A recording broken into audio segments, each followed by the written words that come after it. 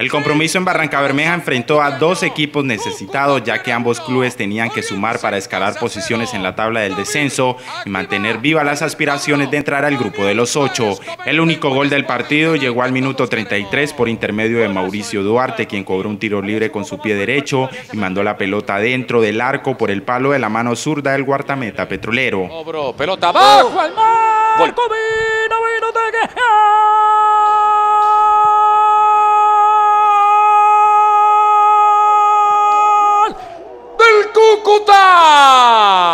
La realidad es que, que nos costó muchísimo.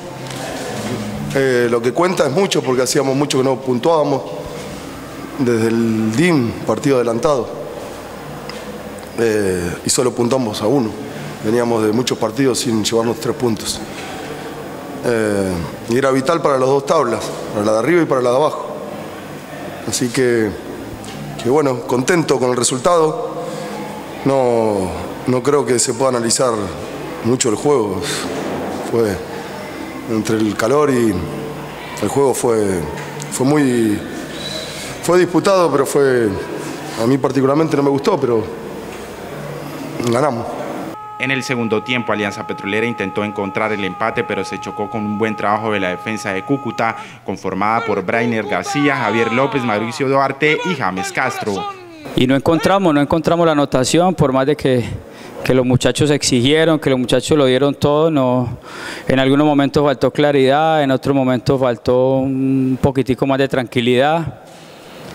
Y en un par de situaciones eh, las equivocaciones de, del árbitro dan al traste con, con, el resultado para nosotros, de acuerdo con, con lo que hemos visto de, de las repeticiones. Eh, es una derrota que golpea fuerte, que golpea duro, mm, como, golpe, como golpea cada derrota, ¿no? Imagen la situación en que estamos.